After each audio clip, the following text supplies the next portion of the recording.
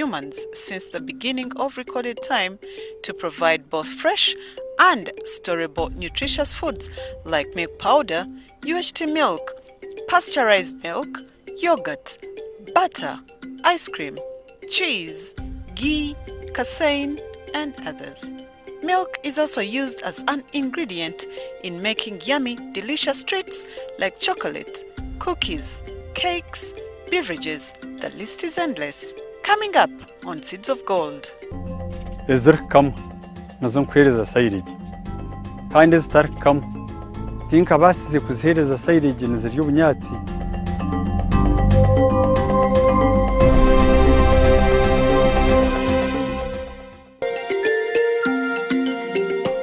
dairy sector has grown over the years.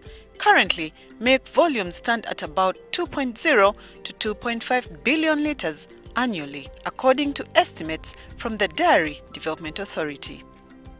Western Uganda farmers of hybrid cattle make the highest contribution to this figure. However, the unpredictable and sometimes harsh climate makes it expensive to keep the hybrid cattle because they demand high maintenance compared to the indigenous cattle breeds which produce very low milk quantities. Some local farmers, however, still prefer keeping the indigenous breeds of cattle because of their resistance to drought and disease. John Mpora is a dairy farmer from Mirembe Parish, Chegwegwa district. He has over 100 heads of crossbreed cattle and another 50 heads of purely local Ankole cattle on his 10-acre dairy farm. Since the early 2000s, this has been his life. He now has experience in rearing both hybrid and local breeds of cattle. nkaba kare emyaka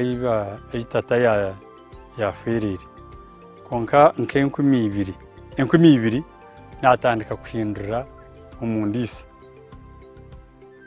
nagura korosi nkabanza ente itanu nayongeraho izindi itanu zaba inti ikumi kizazeire natandika kugemura nkarita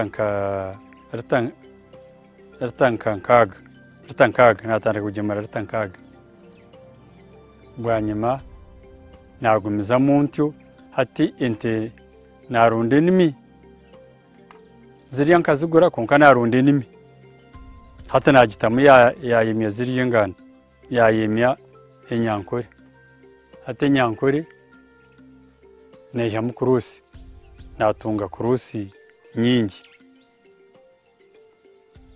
bwanyuma nagumizamu nindiisa nindiisa konka omu enkumi ibiri na, na mukaaga enkumi ibiri n'etaano bantwara bushenyi kuza kushoma Eh, gavimenti yantwara bushenyi kuza kushoma twamarayo ibiro bina ubu tukiri umugomborere yampara tutakaizira omurigi yakunuya tukaba tukiri mpara bantwara kumurigi sanazaye nashoma n'abandi abe naberengenzere nabo konka kanashyikireyo omutima gwange ninga ebiteekateeko no byazakurisa n'okuhinga hatukenaizire ntazo muri igana atanu nazo muri bibiri nazo muri bibiri atanu nashikana eshatu hati ahinda ugambira ubona ubu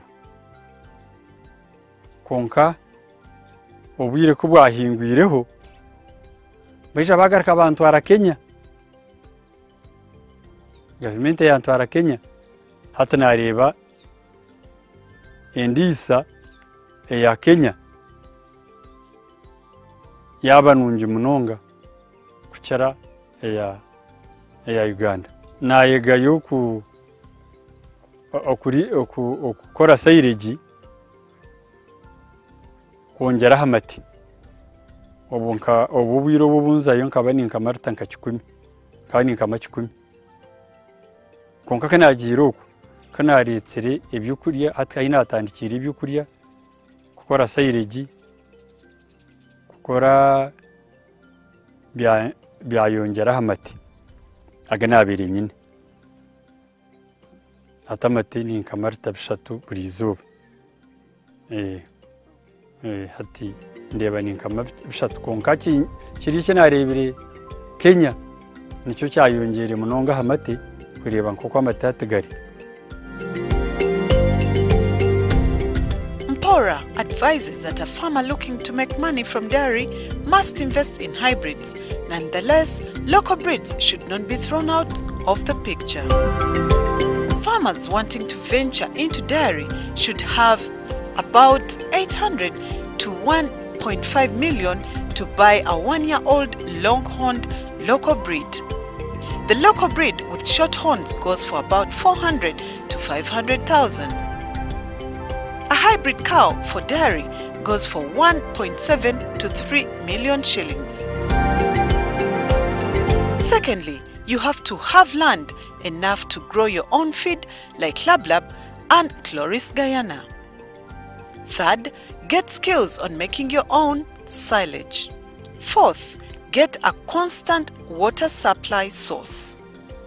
twagira mu kigombe cya president yatugambire kiyateireho cy'ihangariyoni yatujyana ngo tugure nyankore nazo tuje tuzirondere nimi nazo zigera amate zo mu kigombe w'umunkazamo nyuma cyane leta arakugura inyankore ngo tuje turonde nimi nazo z'amate tuzitaha nyankore nazo ibase kugera amate kagenjungu aha kandi eh, muri no kureberera kubikuke abo kubenjungu nitwara sente nyingi omumbazi omukwiragurira mbwenu poroguramu egyo ngiine kugira ngu ninza kuronda enime y'amate nambwene bakagi nkagigurayo oku y'amate ngu eyemye enyankore nazigire amate hati ndeebe ngu nagemura aga namurya naihamu agandi mate eh, nazo hati ninzikamu ninyihayo rutanka y'itaano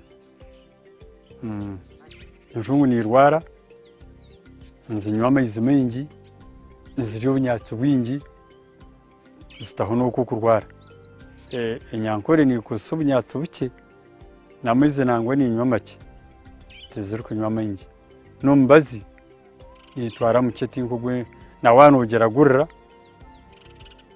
ntugera aguriza umubazi muke mukinjira ukiru kurwara tushanga washyitse imitwaro nk'ashatu ana kurugero uko yarwara eh. igiti icyo kikaritwa ikizubi imibazi nayo ikaba ikagira amana make itakiyita ngoha ate ngoha niyo kutiretera ubuzubu abarisa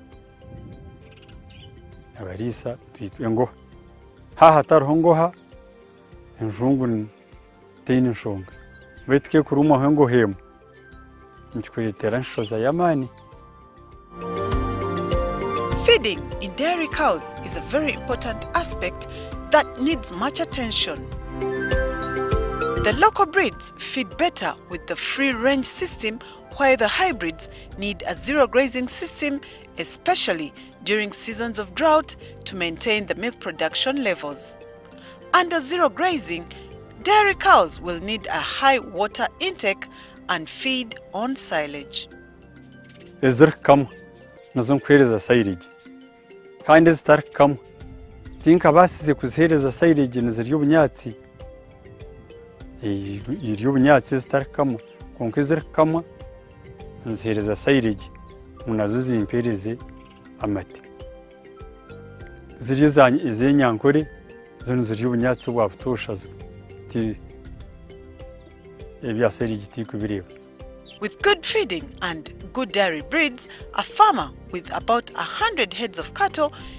can be sure to collect over 300 liters of milk per day like Mpora. Some of the breeds that have the ability to produce high milk quantities include the Holstein Friesian cow is the highest milk production breed in the world. It is said to give 10,000 liters of milk per year. The Ganzi. These are known for their ability to produce very high quality milk from grass, They produce rich yellow milk rather than the standard white milk other cow breeds produce. Eh, nkatandika na frisian nizo zabandizi konka n'ijana naronda enimi ya ganzi nagitamu hati ganzi iyo nekera kugumira embeera tegerobe nka frisian ganzi negumiraho embeera ne n'ubu yo kurwara tikurwara nka nka furijiyani kandi wano ukamamate gazo ganze gagumire ku kiraga aga furijiyani furijiyani na meze munonga konka ganze go gagumire na wano ninga nonywaho ushanga gagumire kandi aga furijiyani na meze mwene nkakira kuri eteni za ganze na gavumenti ka yampereho ababa obwa obwa ampu enimejo nayo kiri ikiri ya ganzi za bwanyima hati na okukunda ganzi zaguma igumire e igumire zo ni nizemera imbere tinka frigian mm.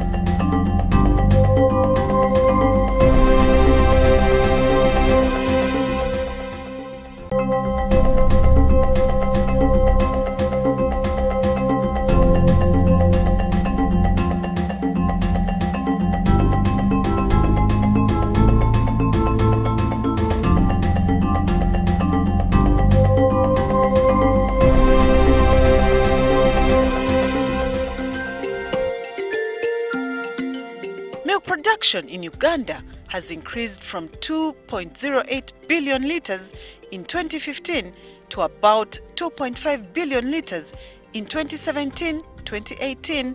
From this figure, about 80% is marketed and only 20% is consumed by the farming households.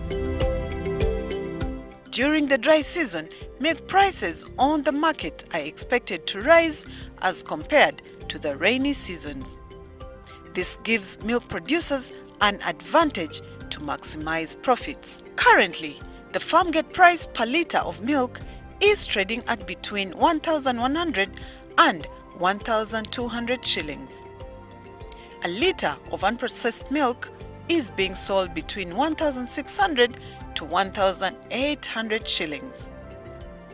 A litre of processed milk will go for 2,800 to 3,000 shillings depending on the brand. Eh, hata ubona ko uba umushana kuba make hata bei yiyongera nta dayeri na konka omu ombere ebindi ebindi ebiterigiremu aha amati tukagaguza nka bishatu ebiri eh, omu mezi agaga agagahoyire kandi tukaguza eshatu konka aba umushana kugenda imbera nehinduka amateni gaba make nigaba make hatigari aha ruwenda hmm. Currently, Uganda has 100 operational milk processing companies with a total installed capacity of 2.7 million liters per day. In western Uganda, farmers like Mpora sell their milk to processing companies through their dairy cooperatives. With this system, the more a farmer supplies, the more profits he makes. This is the sure way of helping farmers find a steady market. amate tu tuyine society nkaitwe abantu makumi ashatu naba nababiri no gavumenti ekateereza kuura ati ntigashoruza tigatumukura yaitu hanyuma tureta umuguzi agagura aha beyi tukaba tuyikirezanye nawe rero agatwara uwatwara mu katare fagitori zarutwaramo hmm. twine sente za taransipoti yo kutwara amatene barine bagatwara mu motoka mbwene icyo tikine kureka ituntu tushororeza omukura turonda agura amatago rero agenda yihamura iki kintu esente ntuzifune mu watwara kuko utwara riti ikumi nutunge za riti ikumi habwo kuba uteyire muri riti ikumi kandi utugwije kutunga atanu ninga uriya ah, nawe kaba kutamu atanu atunga atanu iza riti atanu ebeyi kereri yahari aharushanju aha hariya ahakura waba utuyire muri riti ikumi ntuje kutunga izawe za rita kandi watwara muri tigana natunga ezi ezari tigana hatubagabara tumanya ngu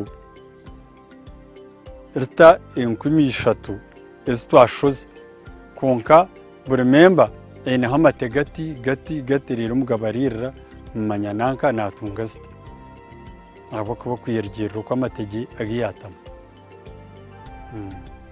in terms of market these farmers they have got they, in fact they I've got the private buyers who are buying our, our milk. But this, uh, got the, this veterinary officer and this agricultural officer who make them to be cooperative. They want them to be in cooperatives. That's when they can get the, the proper market. Because this, the buyers, they are private. They're just giving them any price. Don't bargain with them. They give us any price. If it is the, the rain season, they can give us, they can buy at 300 per liter, 300 shillings per liter.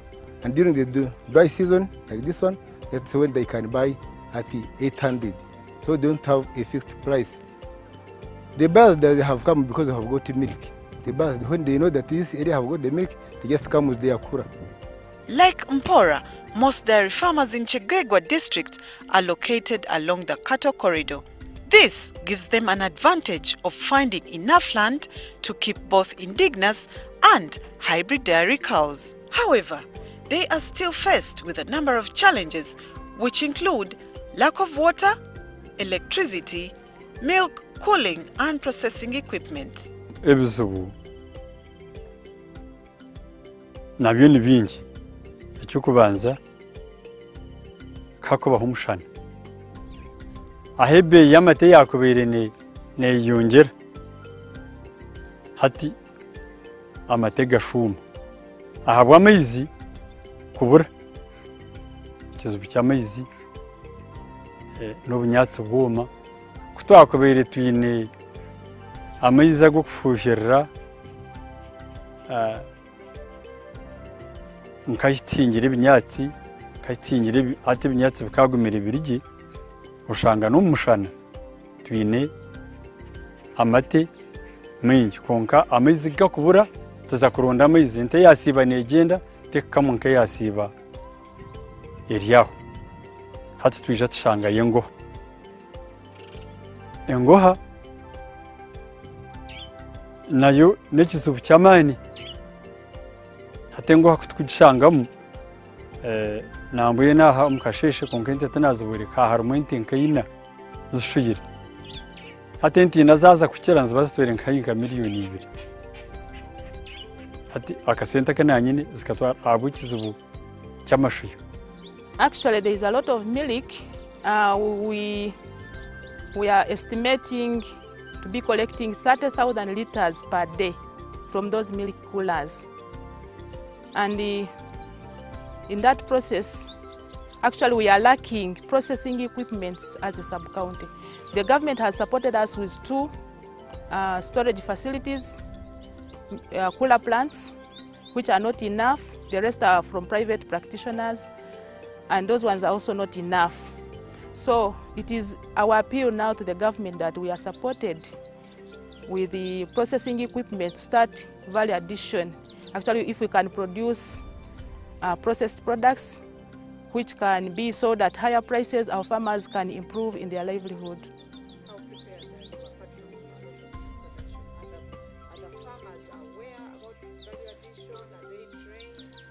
Uh, we are carrying out sensitization meeting trainings we have carried out. We have encouraged them to form cooperative societies which they have formed and they are continuing to form them. So it is our appeal to the government now that to come in because we already have organized groups. of farmers to come in and support our farmers so that we don't lose what we are producing. Much as Ugandan dairy farmers are making a kill of the hybrid cattle for milk production, managing them is still considered an expensive venture. The local breeds, on the other hand, even with a low milk production level, their importance cannot be overlooked. They are by far still considered the best breeds for drought and disease resistance and as well as easy to manage at a lesser cost. Is dairy farming on the list of your business ideas? Mpora's piece of advice may be your gateway to achieving your dream in farming. Who knows, you might be our next profiled farmer on Seeds of Gold. Nti tukazi tungu maize. Nti tukazi tungu teini bunyatsi itaka ntubanza utunga itaka nyuma utunga ukugurindi kandi ndetse nanagambiriho kuriya kenya eyi narebera ubu n'omuntu n'obwaka bataine itaka aine hiika nkye konka oba gavumenti ekakishomesa abantu nk'aha hiika ibiri noshanga risiizeho ente imyaka makumyabiri omukutendekwa mbwenu na gavumenti kekutendeka abantu nanagwizire nti nyowe ekyanyambire kutunga ente na gavumenti hmm? okuguma nentwara omu mushomo naija abatekenuka abakubimanya kushomesa abantu nanye kunshomesa kandi nkakwata mbwenu kandi kuba kuba bataizire abo baza hari umuntu ahabwokuba omuntu takwija kubaasa wenka ataine ataine wokumwegyesa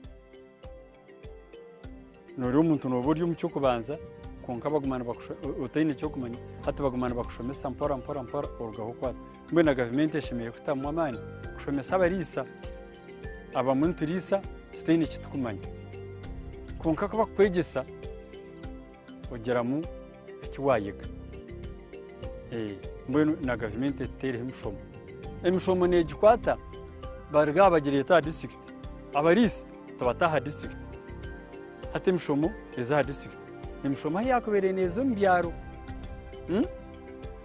hati bagireeta aha disitulikiti bagireeta omu matahuni oshanga ngu hati obundi hazayo kunuuya obundi harugayo omuriiso omwe ninga babiri ekikumanyisa boona tibaine eki mbwe nimushomisha imirire kuza hakiri ntango yaba iri hari izamarika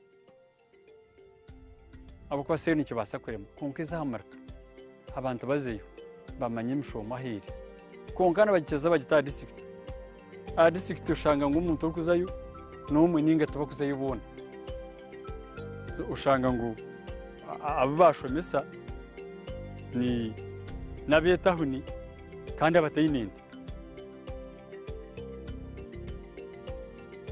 ubundi hejuru porojegiti konka bacyaro abanza bagomba batagujimanya hatemanywa bariyo shanga cyansi yona yahwera nkahi ahiguru mbe nanisha aba gavumenti emishomwe eh, kagiriza hansi